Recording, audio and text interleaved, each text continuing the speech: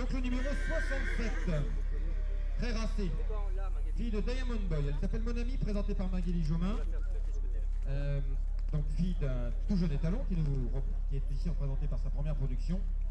Et la mère, Mona Lescriba, est une sœur de Moussu Lescriba, qui fut un excellent cheval à Auteuil précoce, puisque vainqueur du prix Stanley Easton.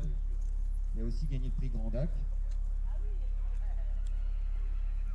Cette pouliche euh, qui est née le 23 mars est pur sang, c'est important de préciser, parce que là nous n'avons pas que des AQPS, les pur sang et les AQPS sont mélangés. Donc une pur sang que ce numéro 67, fille de Diamond Boy, un jeune étalon installé au ras de la Croissonnais en Normandie. La mère, elle est par Sagacity.